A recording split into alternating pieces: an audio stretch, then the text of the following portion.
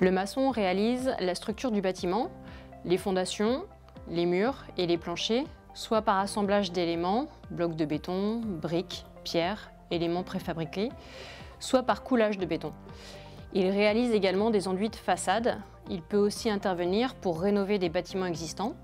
Les évolutions technologiques permettent l'utilisation de matériaux toujours plus légers et la mécanisation des chantiers.